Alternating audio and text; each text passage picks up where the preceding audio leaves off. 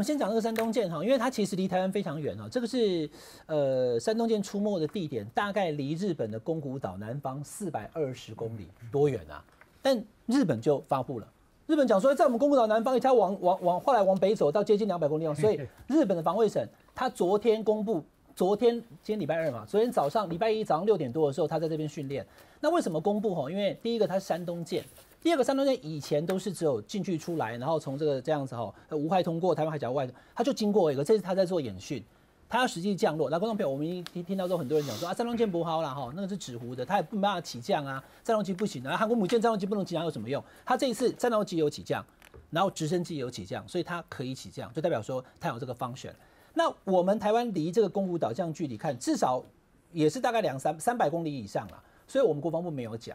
今天礼拜二固定的国防部例行记者会，刚刚看到那那个记者会现场，记者问，因为日本昨天讲了嘛，好，那就回过头来，国防部可能也闷说，哎，三百多公里我也要讲嘛，可日本就讲了，好，所以其一我们要知道，就状况，其实基本上在台湾的周边，虽然这次非常远，可是山东舰它有在这个海上，哦，这个战斗机起降的功能的时候，可能日本很关注，然后我们没有那么关注。第二个，内水的问题。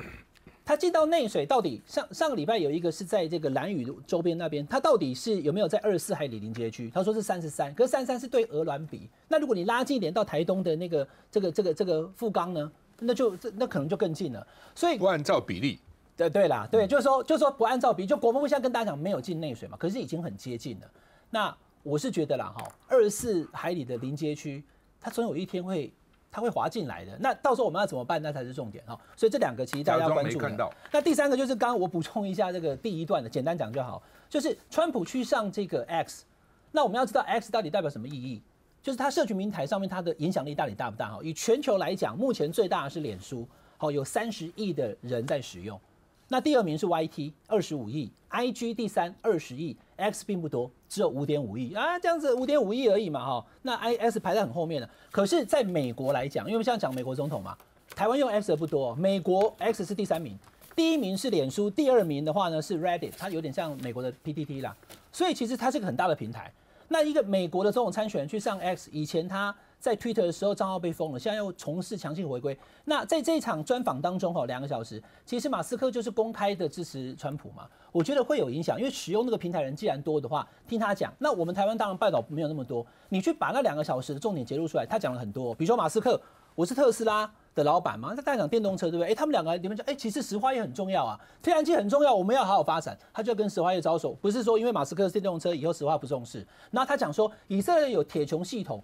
我们也应该买啊！好，这川普里面其实讲了蛮多东西的。那因为他强势回归到这个哦社群平台当面，已经不是说 A B C N B C 专访而已，突破传统的模式。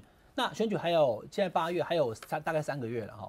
其实我觉得也会对选举造成一些影响，因为毕竟一个媒体的大亨公开挺他，还是会有影响的。不是，知道马斯克是很多美国年轻人的英雄哦，大家追随他，很多人追随他的，好吧？这个大进满八十八号红信船长。